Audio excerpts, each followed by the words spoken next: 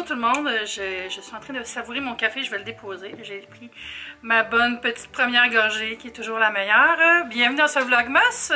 Mon nom c'est Eve Martel. Si vous découvrez ma chaîne, je fais présentement une vidéo par jour pendant le temps des fêtes jusqu'à autour du 20-21 décembre.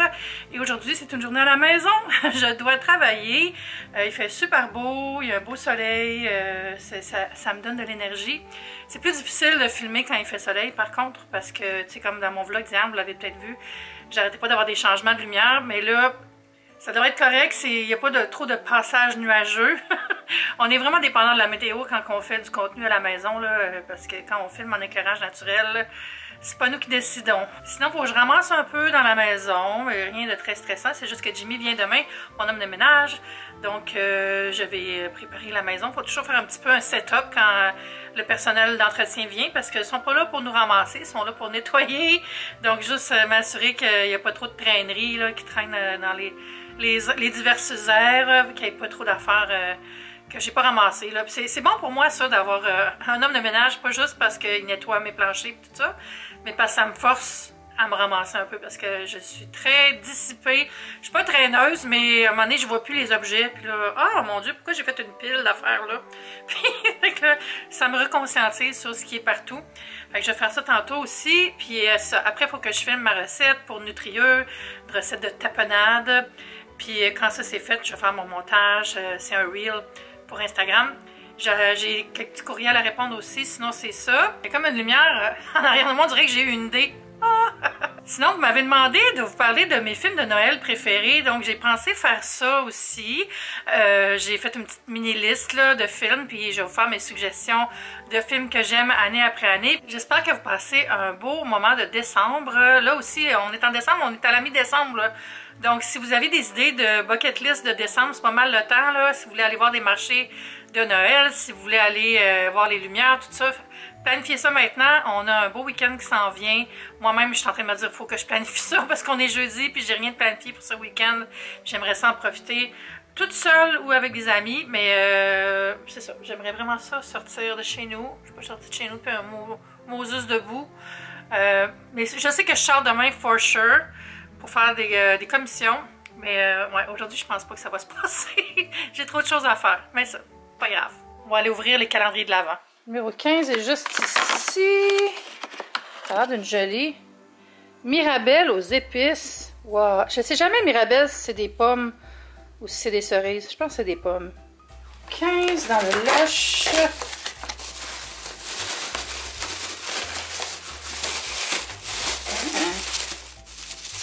Dirait un nuage. C'est un Père Noël. Il est donc bien joufflu. C'est une bombe de bain Père Noël. Tic. Tiens. il n'a pas l'air d'être là. Ah, mais il est là. Je pensais qu'on allait être dans les étages. C'est une bougie. Youhou! Rose. Ah, celle-là, elle sent tellement bon, là. Hum. Ça sent un peu comme les roses y a de chez nous. Ça sent la rose euh, de buisson, là, de bosquet, pas la rose en tige. Ça sent vraiment bon. Hum. Vraiment une super bougie. Ah, je suis tellement contente. J'ai brûlé euh, des listes hier, des bougies de Noël. C'était magnifique. Bon. Merci, Diptyque. J'avais fait au début du Vlogtober un verre avec un sticker de boutique Novembre qui est super beau. Puis je voulais vous dire, je l'ai passé au lave-vaisselle deux fois depuis. Impeccable. Donc euh, vraiment, ça passe le test. Je vous remets le lien dans ma description si vous voulez aller voir les produits. Ils ont vraiment de la belle papeterie de productivité, des autocollants, des calendriers, c'est super beau, des carnets, des planificateurs de menus. Et là, j'ai ce petit écureuil-là que je trouve tellement mignon. Puis je vais le mettre sur un autre verre comme ça. J'en ai tellement des verres canettes, j'en reçois souvent dans des colis médias. Ils mettent souvent ces modèles de verres-là. je l'ai bien nettoyé. Et là, je vais l'appliquer. Je me concentrer que ça soit croche. Il est-tu plus assis ou il est plus comme ça? On dirait, je sais pas. Est-ce que je mets comme ça ou je le mets comme ça? Je pense comme ça. Hein. Il est comme assis sur ses fesses. comme ça. Voilà. Là, j'attends au moins 24 heures avant de m'en servir. Fait que je trouve que ça me fait une belle petite collection. J'en ai un autre avec des pingouins, mais j'aime moins les pingouins. Fait que je pense que je, je vais juste garder ces deux-là. Puis l'autre, je vais le mettre ailleurs. Ou je vais le donner. C'est trop cute. C'est l'heure du lunch, j'allais me préparer quelque chose. Ça sera pas de la fine cuisine, mes amis. Je vais manger le reste de ma salade d'hier, puis je vais me faire chauffer de la soupe au pois, jambon fumé. je vais manger ça avec un petit morceau de baguette, ça va être parfait. Le midi, ça a franchement pas besoin d'être compliqué. C'est vraiment à la bonne franquette. Mais là, je goûtais avec vous le Holipop Tropical Punch. Je vous avais promis que j'allais le goûter euh, on cam. C'est une des boissons que j'ai achetées sur Natura Market. J'en ai goûté aucune des deux. Donc, test de goût. Ça dit Prebiotic Botanicals Plant Fibers. Euh, plant Power Microbiome approuve. D'après moi, ça doit être un peu comme kombuchaesque. Alors, je prends une chance parce que j'aime pas toujours ça, euh, du kombucha. L'emballage est vraiment beau. C'est vraiment une marque qui a basée beaucoup sur le marketing, mais on va goûter. Tropical Punch. Oh, miam! Hum! Qu'est-ce que ça goûte? C'est vraiment comme. C'est vraiment punch, Hawaiian punch, mais pas sucré. C'est dur, à dire. J'aime vraiment ça. Bravo, Olipop! bon, on va manger. Bon, c'est le moment des films de Noël. Je me suis fait une liste dans mon téléphone. Puis j'ai noté deux styles de films. Des films vraiment de Noël, des films que j'aime puis qui se passent à Noël. Parce que pour moi, les deux sont similaires. Euh, les films qui se passent à Noël, je les réécoute dans le temps des fêtes. Donc pour moi, ce sont des films de Noël. Il y en a dix en tout. Le premier, c'est Elf, bien sûr. C'est un de mes films préférés de tous les temps. Noël, pas Noël. Je l'ai même déjà regardé hors saison parce que j'aime vraiment l'ambiance. J'aime euh, le, côté, le côté bon enfant, l'humour. C'est super simple, ça se passe un peu comme un conte, parce que d'ailleurs, euh, à la fin, ça devient un conte. Ben, no, spoiler, mais c'est quand même ça. J'aime beaucoup euh, euh, toute l'ambiance de magasin à rayons. Il y a beaucoup de couleurs riches aussi. J'aime ça que ça soit très vert, rouge, blanc, la neige. Donc, ça met tout de suite dans un esprit de Noël. Puis la musique est super belle. C'est une musique qui est instantanément classique. Je l'écoute même dans la maison comme musique d'ambiance. Mon deuxième, c'est la série de Princess Switch, mais en français. Parce que je l'avais écouté en anglais le premier, puis j'avais trouvé ça cute. C'est l'histoire d'une jeune pâtissière euh, qui change de place avec euh, une duchesse parce qu'elles sont sosies. Puis la duchesse, elle veut vivre autre chose que la vie de duchesse avant de se marier avec un prince. Puis finalement, les deux tombent en amour avec quelqu'un qui est dans l'univers de l'autre. Puis en tout cas, je ne dirais pas les punch non plus, mais c'est super sweet. Mais en français, c'est encore meilleur parce que, je sais pas, il y a comme un côté qui me ramène en enfance quand j'écoutais juste des films en, français. Puis la, deux semaines, quand j'étais allée chez mon père, on a écouté le 2, que je savais même pas qu'il existait. En fait, je, je savais qu'il existait, mais je savais pas. Je pensais que je l'avais vu, puis finalement, je l'avais pas vu pendant tout. Fait que c'était vraiment le fun. Puis là, il y a une autre personne qui est pareille comme eux autres. oui, un, troisième sosie. Tu sais, c'est complètement abracadabran, là, mais j'aime beaucoup ça parce que les décors sont incroyablement maximalistes. Ça a été tourné euh, en Roumanie, je pense, dans des châteaux, puis il y a full neige. Je vous dis, euh, dans une chambre à coucher, il y a cinq sapins. C'est vraiment, c'est presque extrême. puis là aussi, c'est très chaleureux, bon enfant très conte de fées, donc euh, ça me donne tout de suite un sentiment cosy. Puis il y en a un troisième où là, heureusement, il n'y a pas de quatrième personne qui arrive pour être sosie. Là, je sais comme ils vont pas pousser ça à quatre fois. Là. Ils vont pas avoir cette audace-là. Mais non. Mais ça tourne encore sur l'idée de euh, identité interchangée, puis des genres de petits mystères. Là, il y a quelqu'un qui vole l'étoile de diamant qui est dans un musée, puis en tout cas, c'est bien le fun, ça me, ça me fait relaxer. J'aime ça, puis c'est super cute. Ensuite, un grand classique, en français aussi, parce que c'est meilleur en français pour nous, parce qu'on l'a toujours écouté en français, c'est National Lampoon's Christmas Vacation. Et au Québec, ça s'appelle Le sapin a des boules. Je pense qu'en France, ça a un autre nom, genre le, sapin et ses boules, mais au Québec, c'est vraiment Le sapin a des boules. C'est quand même très drôle quand on sait qu'est-ce que boule peut vouloir dire au Québec aussi. Mm-hmm. Là, on est dans la comédie loufoque. C'est beaucoup d'accidents puis de quiproquos. Mais c'est juste tellement comme le gars, il veut juste vivre un beau Noël parfait avec sa famille, puis il arrive tout le temps des problèmes. Là. Il n'a pas son chèque de bonus. Là. Il pense qu'il ne pourra pas acheter la piscine à ses enfants qu'il leur avait promis. Son beau-frère, il arrive avec son Winnebago puis ses déchets toxiques. La dinde est trop sèche. Le chat pogne en feu. Puis en tout cas, il en arrive bien des affaires. J'aime toujours la fameuse scène avec euh, l'espèce de crazy carpet ronde. Il y a un autre nom pour ça. En tout cas, comme une luge ronde. Il met de, il met de l'huile dessus au WD-40 puis il part comme une fusée. Ça me fait toujours rire. Et aussi l'autre scène que j'aime beaucoup, c'est quand il commence à décorer la maison avec des lumières puis il arrive avec une grosse boule de fil tout mélangée là. On est tous déjà passés par là de voir démêler des rangs de lumière c'est jamais le fun. Donc, euh, j'aime beaucoup cette comédie-là. Ça joue tout le temps dans le temps des fêtes à, la télé. Un autre film qui n'est pas un film de Noël en tant que tel, mais qui se passe dans le temps des fêtes, c'est La Guerre des Tucs, que j'aime beaucoup et qui passe toujours à Ciné Cadeau, à Télé-Québec. On adore ça. Et moi, j'ai vu La Guerre des Tucs au cinéma l'année que c'est sorti. L'original, vous dire. J'étais allée avec mon père, on avait fou aimé ça.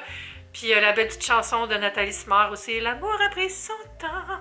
C'est une belle histoire. C'est l'histoire de jeunes qui vont euh, bâtir un phare en neige pour s'amuser pendant leur congé des fêtes. Puis les quelques petites scènes qui font Noël, c'est que il y a des décorations dans la rue, il y a une pratique de chant euh, pour le concert de Noël qui se passe à l'église. On a des petites touches comme ça dans l'atmosphère, dans l'ambiance qui fait Noël. Puis c'est aussi, c'est l'hiver. Donc, pour une Québécoise, c'est synonyme de temps des fêtes. Ensuite, j'ai mis Fanny et Alexandre de Bergman, qui est un film et aussi une version mini-série qui est très longue, qui est encore meilleure. Euh, puis c'est un film assez austère, mais au début du film, ça se passe dans le temps des fêtes. Noël scandinave, c'est magnifique, des grands sapins avec des bougies dedans. Puis c'est une famille bourgeoise qui manque de rien. Puis là, Fanny et Alexandre, un frère et sœur, ils perdent leur père et la mère se remarie avec un homme religieux très, très, très austère. Donc après, ça vire un peu comme... C'est un peu triste, là, puis difficile à regarder même parfois, mais le début vaut la peine pour l'ambiance des fêtes. Donc euh, je vous le recommande quand même vraiment beaucoup, puis c'est magnifique comme film, c'est très, très bon, l'histoire est euh, captivante. Prochain film de Santa Claus, lui je l'écoute en version originale, c'est le film avec Tim Allen qui reçoit sa consacration, sa mission, sa nouvelle vocation de devenir le Père Noël. Donc, il se transforme tranquillement en Père Noël, puis il, réalise que c'est ça sa nouvelle vocation. Donc, euh, comment ça va se passer avec sa famille, comment ça se passe avec les elfes, avec euh, toute la politique autour de, devenir le Père Noël. Et bien sûr, il y a toujours une course folle à la fin vers un objectif euh, de manière effrénée. Mais c'est juste cute, puis c'est très drôle, puis j'aime beaucoup le personnage de de l'elfe en chef, là, qui est un petit peu comme Ah, je peux pas croire, un peu contre-maître, là. Ça, je trouve ça très drôle. Il y a, je pense, deux ou trois autres films après, c'est vraiment rendu une série, mais c'est juste le premier que j'aime vraiment autant. Ensuite, un autre film que j'écoute juste en français, puis qui se passe à Noël, mais qui n'est pas un film de Noël, c'est Trading Places, en français, Un fauteuil pour deux. C'est un film avec Eddie Murphy et c'est quoi son nom? Dan Aykroyd. Oui, mon Dieu, je sais pas pourquoi je oublié, il est tellement bon. C'est un film avec Eddie Murphy et Dan Aykroyd qui sont dans un univers euh, de la bourse. Il y a deux frères, deux vieux monsieur qui font un pari. Est-ce que quelqu'un qu'on prend dans la rue? Peut devenir quelqu'un de très bourgeois, de très financièrement apte, si on lui donne déjà d'entrée de jeu tous les outils pour réussir. Donc, ils font ce pari-là, puis là, ils prennent, ils prennent la vie du personnage de Dan Aykroyd et la donnent au personnage d'Eddie Murphy en lui enlevant sa job. En tout cas, je ne dirais pas toute, là.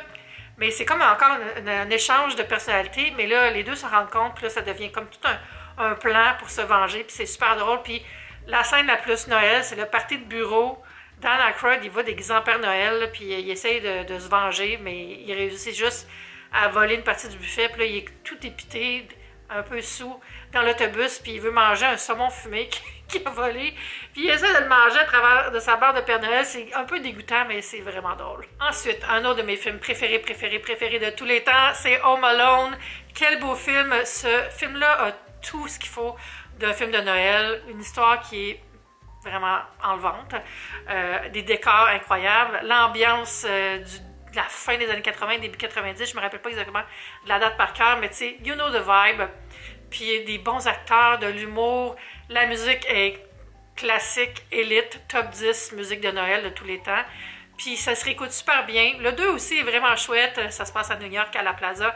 Mais c'est vraiment le premier qui a une place dans nos cœurs avec Macaulay Culkin, pauvre petit garçon qui est abandonné chez lui alors que toute sa famille s'en va en voyage en avion. Puis euh, il y a comme une erreur dans le comptage des billets et des gens qui sont dans le, wagon de transport, la vanne de transport. Et là, ils se rendent juste compte à bord de l'avion que Kevin est resté à la maison. Donc, c'est toutes les déboires de Kevin tout seul et de sa mère, jouée par Catherine O'Hara, qui essaie de revenir C'est super drôle. Euh, il y a vraiment quelque chose de magique dans ce film-là. En français aussi, c'est bon, mais lui, je l'écoute en anglais. Ensuite, du côté de la France, Le Père Noël est une ordure. C'est un film qui est basé en fait sur une pièce de théâtre par le groupe qui s'appelait Le Splendide, je pense, avec Thierry Lhermitte. C'est toute une gang d'acteurs qui créaient beaucoup ensemble. Je pense que c'est la même gang d'ailleurs qui ont fait tous les films là, de, ski, là, comment ça s'appelait? Les bronzés. En tout cas, je me rappelle plus. Les bronzés font du ski. Quelque chose comme ça. Mais en tout cas, le Père Noël est une ordure. Ça se passe dans une ligne d'entraide euh, pour aider les gens qui vont pas bien ou qui sont au bord du suicide. Puis là, ils appellent euh, à ce centre-là pour avoir de l'aide et ça se passe au réveillon. Puis là, il y a un monsieur qui a eu des mauvais conseils, on, ne sait pas trop, qui vient pour se venger. Puis il est déguisé en Père Noël parce que ça vient complètement à bracadabrant. Puis il y a des personnages très loufoques, très typés, un peu borderline des fois, mais tu sais, c'est un vieux film. Mais c'est quand même très drôle, puis il y a des scènes complètement euh, cultes dans ce film-là. Ça se réécoute super bien, ça s'écoute bien en gang aussi, je trouve que c'est euh, quelque chose de très convivial comme film. Finalement, mon film de Noël préféré, c'est A Charlie Brown Christmas, le spécial euh, des années 60, je pense, le spécial des fêtes de Charlie Brown, Snoopy et sa bande.